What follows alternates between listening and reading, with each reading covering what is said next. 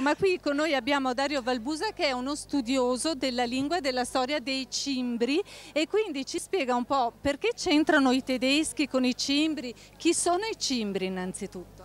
I cimbri sono una popolazione che si è stabilita qui a partire dal 1287, sui, parlo di qui in Lessinia perché in altre località si, erano, sono trasferiti molto prima. Ed erano di origine? Di origine bavarese, i primi.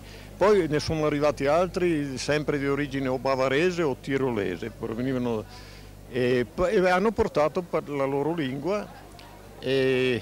Tant'è che se io le chiedo di dirmi benvenuti qui dalla piazza di Bosco Chiesa Nuova, come si dice in cimbro? Si dice Seit Boken in Alien, se sai che hier se oran se redan pauc. Ecco. Ti sfido a ripeterlo, ti sfido Non potrei ripeterlo, forse Certo che è una storia volte. antichissima, prima c'era Alessandro Anderloni qui con noi e ci ha ricordato come eh, qui in un certo momento, proprio qui il Curatorium Cimbricum abbia voluto per così dire continuare attraverso una presenza costante questa storia sì. per mantenerla nella memoria. Esatto, esatto.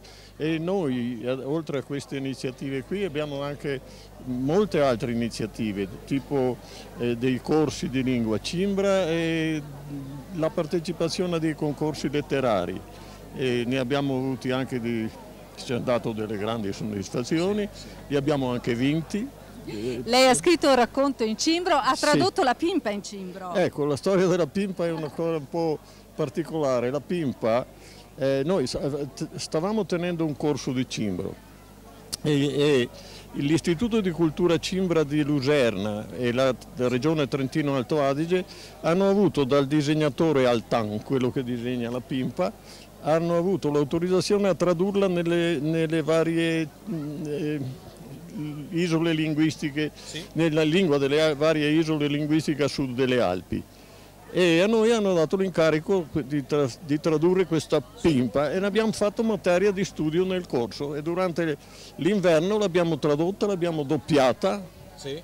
e adesso è, è lì. Ma, ma eh, lì c'è un altro Valbusa che fra un minuto sentiamo, Fulvio Valbusa che il mondo l'ha girato, sì. ha portato in giro la forza, l'energia della gente cimbra di questi posti Valbusa lo sa il cimbro, dopo glielo chiediamo. I giovani lo sanno il cimbro? Eh, non lo sa, forse qualche parolaccia. Qualche parola, sì, sì, sì. Ma sulla casa noi abbiamo trovato spesso e volentieri nelle contrade house e poi il nome della famiglia. Esatto, uh, house è, è l'abitudine germanica di indicare l'abitazione di una persona. House, la casa del di quello che la abita. Certo, certo. È, è un'indicazione in lingua tedesca eh, in lingua germanica, ecco, sì. ma che comunque eh, che fa parte proprio de, de, de, ecco, della ecco. famiglia allora, delle lingue arriva anche, Grazie Dario, arriva noi facciamo Fulvio entrare al volo in diretta Valbusa. Fulvio Valbusa. eh sì, eh. sì, sì. Vieni, vieni grazie a Dario, benvenuto grazie, a Fulvio, grazie, allora, grazie. olimpionico, vero di fondo, Torino 2006, medaglia d'oro, insomma grande, eh, un grande risultato, guardia forestale, certo. ti occupi quindi della tutela dell'ambiente. Allora, cosa vogliamo dire a casa chi ci segue per l'ambiente? Ma eh, cosa bisogna dire? Che tutta la gente che vediamo ora che ci gira attorno sicuramente sono arrivati in Lessinia per godersi quello che è il territorio, l'ambiente in, in, se stesso e quella che è la completezza, la biodiversità anche di questo ambiente che si sta sempre più, eh, come si può dire, perfezionando perché con l'arrivo anche, sappiamo tutti, possiamo fare un accenno di questi lupi, eh, vuol dire che il territorio sta bene, la biodiversità di un territorio vuol dire che è completa e di conseguenza la gente viene anche attirata da questo, da questo essere un territorio eh, che non manca nulla, anche se qualche problematica esiste. Beh, naturalmente, poi penso anche ai tanti turisti che salgono qua su, nel tempo sono cambiati ma dagli anni 60 qui gente se ne vede tantissima.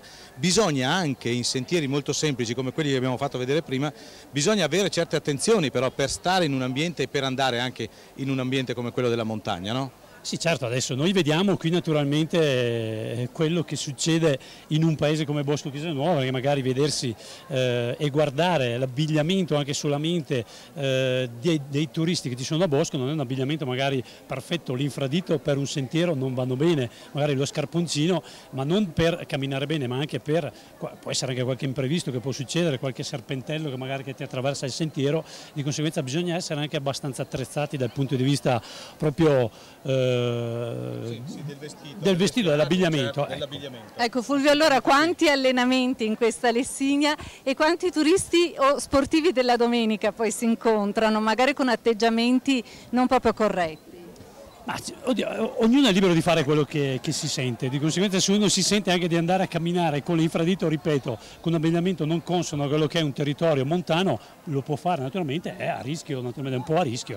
E di conseguenza quello che si trova in Lessinia, si trova tanta gente veramente che eh, la usa questa Lessinia, proprio si può dire anche usa la Lessinia come allenamento, come eh, sfogo, come valvola di sfogo per quello che può essere un, un continuo eh, lavorare nelle grandi città, perché certo. naturalmente la Lessina come tutte certo. le montagne sono certo. una, una valvola di sfogo per... Senza andare in polemica naturalmente con le nuove norme, con quanto mm. prevede la nuova normativa allo Stato, decreti, una roba l'altra, guardia di finanza, ma ci dici qual è il compito più difficile di una guardia forestale?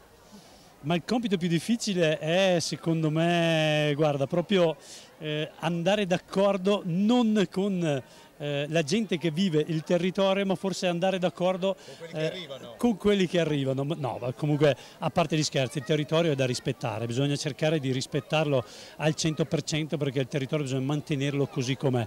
Purtroppo ancora oggi si, vede, eh, si vedono rifiuti abbandonati che sono quelle cose che fanno molto male e quando si arriva in Lessinia si fa un picnic, rifiuti, portiamocelo via, come l'abbiamo portato, portiamocelo anche via. Mi viene spontanea una domanda, io domenica sono stato in un altro ambiente completamente diverso, molto antropizzato, che sono i laghi della provincia di Manto, i laghi mantovani, e lì mi facevano notare su una mia sollecitazione e domanda riferita al ritorno di alcuni volatili, di alcuni uccelli in queste zone che non vedevo più, che erano segnali molto importanti però rispetto a quello che noi capiamo di un cambiamento climatico molto forte. Allora ti chiedo da esperto, quali sono gli animali che oggi piano piano rientrano o ritroviamo in ambienti come questo e come altri, che però devono essere animali che ci portano alla considerazione di un tempo che cambia e di un rapporto diverso che dovremmo avere con gli animali e con la natura.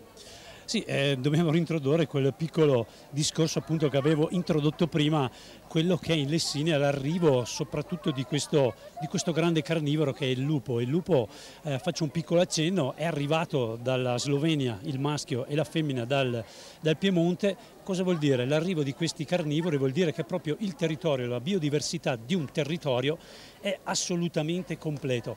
Vuol dire che ci stanno, questi ci possono stare, questi animali e assolutamente dobbiamo conviverci. Si sa, sono scomparsi per cent'anni, non avevamo più il segnale di questi animali, sono tornati. Come ci hanno convissuto qualche cento, avanti, avanti. cento anni fa, dobbiamo ricercare di conviverci ancora. Si sa che la convivenza uomo-carnivoro è sempre più problematica. Non ecco. c'è l'airone cinerino qua su?